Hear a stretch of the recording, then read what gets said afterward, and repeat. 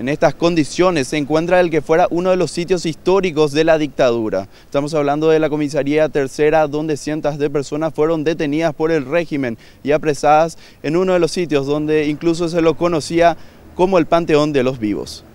pese a que en mayo del 2014, en el marco de la recordación de los 25 años de democracia en nuestro país, las propias autoridades del gobierno declararon la Comisaría Tercera como uno de los lugares insignes que conforman la red de sitios históricos y de conciencia de la República del Paraguay. Hoy ya es poco lo que queda ante el avance de las obras de demolición del sitio. Las víctimas, las que lograron sobrevivir a los horrores del régimen cuando estaban detenidas en ese lugar, relatan que debían soportar condiciones inhumanas, hacinados en una celda junto a varios de otros detenidos, donde ni siquiera ingresaba la luz y apenas circulaba el aire. La sola estadía en este lugar ya era de por sí una tortura, casi una muerte en vida lo que le valió a la celda el nombre de Panteón de los Vivos. El Senado ya solicitó informes a las autoridades del Ministerio del Interior sobre la situación a fin de determinar quiénes fueron los que autorizaron las obras, que derribaron principalmente la mitad trasera de la comisaría que está ubicada en Chile casi Manduvira, zona donde eran los dormitorios de policías.